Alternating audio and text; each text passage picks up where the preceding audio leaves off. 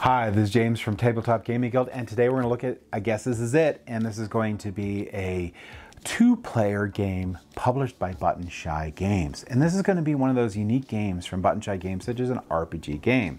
I've talked about a couple of these earlier, and this one here is going to be the first two-player version that I'm going to talk about. And this one is going to be a relationship-oriented game, so you have to be okay with that.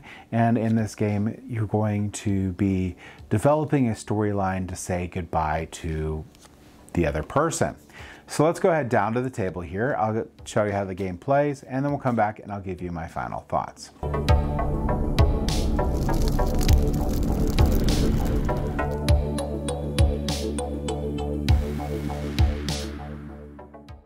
Right, so we're going to take a look at I guess this is it.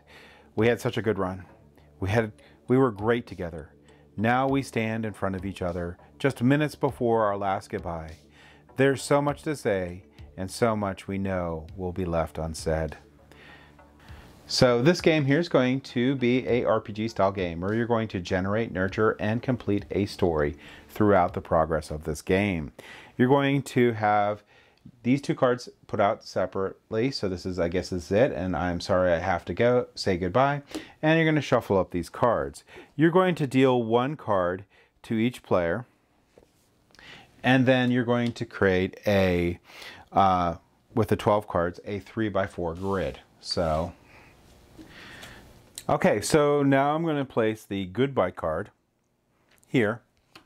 And this card here will be between the two players. I guess this is it. And each player has their own little card there.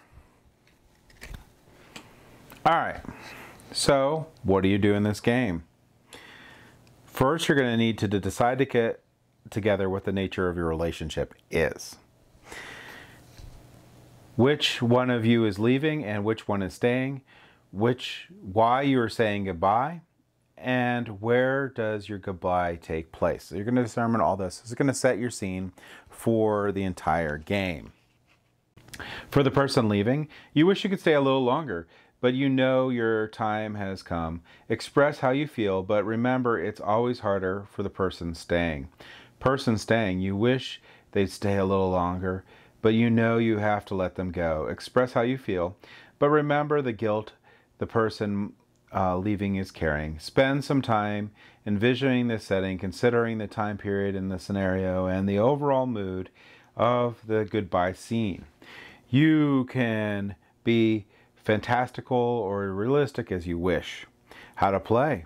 The player starts uh, starting the game on their turn must draw one or two of the story cards. So the way the story is going to progress is it's going to go uh, this way. So it's going to snake up, down, and then back. That's how the story will progress throughout the game. So they can draw one or two of these um, cards here, starting from here, going all the way up until they get to, I guess this is goodbye. All right, so after you decided whether you want to draw one or two story cards, you have to play a story card from your hand connecting the previous story cards that were played. To play a story card, you must fill three conditions. One of the sides of your card must connect to the available side of a previously played card. So let's say, for example, I played, I have played this card, and then one of the sides of this will have to match. So like that.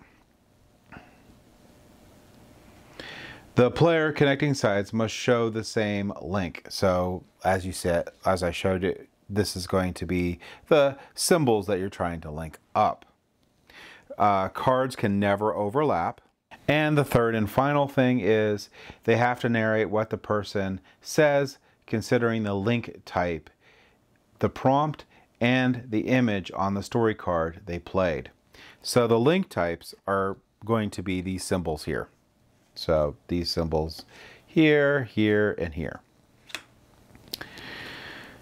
The prompt is written on it. So I, I would, if I picked up this one, the prompt is actually called change. Okay. and the image illustrate may be used for inspiration of the story too.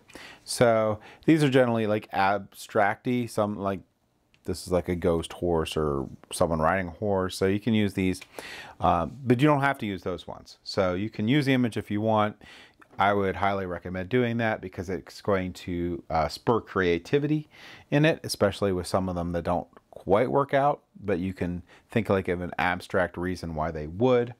Uh, you don't have to say snake. You could be like, well, abstractly, a snake might mean what? And then you add that into your story and create the dialogue. Uh, put yourself in the position of the person that you are playing, understand how they feel, revisit the decision you have made before the game started, visualize where you are, the surroundings, the colors, the sounds, and use these to form your story. So the different symbols on here for the top one here is going to be memory. Memory here, uh, and these are the effects on here, uh, you may pay an extra card. You bring up the past and an experience you had together after uh, you narrate the memory. You may play an extra card from your hand and narrate it. Wish, which is going to be this one right here. Wish, your partner may pass you a card. You share a desire and advance advice, a demand, or a promise. After you narrate that wish, your partner may pass you a card. The next one here is apology. Apology, your partner may skip their next draw. Uh, you ask and offer for forgiveness for something that hurt you or share something you regret. After the narration of that apology, your parent or partner may skip their turn. All right, so down here you have recognition. You may pass a card to your partner. You show your appreciation for them or for something they have. After you've narrated that feeling, you may pass this card to your partner. All right. And the last thing that we're going to talk about is going to be synchronization. Check the card you've played and the card that you've connected to to see if you're in sync. If the cards align edge to edge, long to long, or short to short, then you are in sync. If your cards do not line long to short, then you are not in sync and you must advance the goodbye pile. This uh, represents the time to say goodbye is approaching. Uh, each uh, take the goodbye pile and place it on top of the next card. So basically, this would go there. And if it happened again, it would keep moving along. It would move here.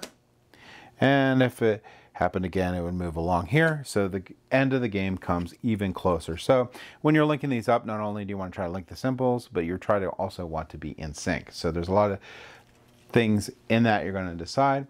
Uh, when no story cards remain on the grid, it's time to say goodbye. The person leaving needs to say uh, goodbye words, uh, then gets up and leaves. After a short break, get back together and reveal the cards in your hand. Those are the things left unsaid. Look at them together one by one and silently reflect on their meaning, on how you wish you had just a little bit more time together. If you both had the same number of cards in your hand, you at least feel that you were on the same page and your conversation was in sync, like good old days. Otherwise, there was a nagging sensation that one of you uh, was maybe a little selfish or neglectful to the other person's feelings. Now reveal all cards under the goodbye pile. Those are things left unsaid also, and things you will forget about each other in the coming years. Look at them together one by one, and again, silently reflect on how you will miss them. All right, so that was, I guess this is it. Let's go ahead back up to the table here, and I'll give you my final thoughts. So I guess this is it. It's going to be a interesting sort of RPG dialogue that you're going to have with another player as a two-player game. These cards are going to give you the structure that you're going to try to follow throughout this conversation. And you're going to, like I said, try to create the initial setting and then move through to hopefully a good finale in here. And you're trying to stay in balance and sync throughout the conversation and trying to have the same number of cards between each player by the end. So there's a lot of really cool things that you're going to have to work through throughout this game. And how to uh, progress the story and how to keep the story cohesive is going to be the interactive and fun part of the game because each of these cards are going to be randomly dealt out. So you're going to have to deal with the different portions at different times for your uh, uh, resolution and your starting premise will hopefully be different each time you do it. This is one of those games that you can just bring out and uh, have if you're just hanging out with your friend, you have nothing, you know, to do. This gives you something to do. Uh, great RPG game for that. And if you think like Rory Story Cubes, where you have a little bit of like a guidance towards the game, this one does too. And this one really has more. It makes you be more creative because you have to deal with like being able to think about matching up and keeping those cards in line. So you're going to have to figure out how that fits in your story and then adapt it for that. So really fun. It also has a guidebook in here that helps out a lot too. I just want to mention that real quick. But if you're looking for a fun two-player RPG game, you may want to check out I Guess This Is It. And that's my thoughts on it. Thank you for watching.